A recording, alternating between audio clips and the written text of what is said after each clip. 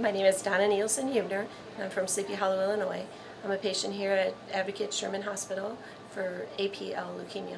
From the first nurse, whose name was Angela, I called her Angel because she was just such a calming, reassuring presence for that first night of tears and facing the reality of fighting leukemia. And from every day since then, it got easier and easier.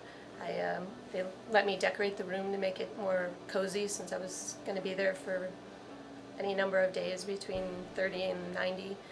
Um, and it's just been a wonderful experience ever since. And each day meeting new patients and new staff members uh, here at the Cancer Center. I'm here Monday through Friday now, and they've just been wonderful. And the whole experience, though it's trying and difficult to battle cancer 24-7 every minute of every day.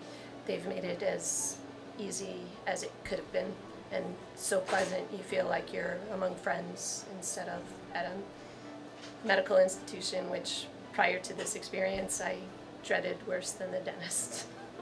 Uh, the nursing staff is phenomenal.